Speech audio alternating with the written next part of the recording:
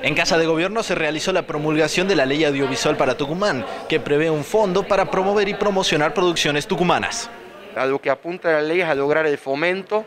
de que los realizadores eh, puedan profesionalizar mucho más aún. La ley prevé la conformación de un Consejo de Artes Audiovisuales de Tucumán, que está integrado por miembros de las distintas de las distintas áreas del sector audiovisual, entre ellos la Universidad Nacional de Tucumán, representada por la Escuela de Cine, la Asociación de Realizadores de Tucumán, la Cámara de la Industria Audiovisual, la parte sindical, tanto de actores como de televisión, y por supuesto el ente cultural de la provincia, y el IDEP a partir de, esta ley va a ser el, empujón, como te decía, para, producir mucho más, para producir mejor, para generar puestos de trabajo, para que podamos eh, cobrar el suelo que nos merecemos como trabajadores audiovisuales y además este, que, le, que poder eh, eh, de alguna manera que decirle a la gente que se acerque que acá en Tucumán se produce, se produce muy buen cine.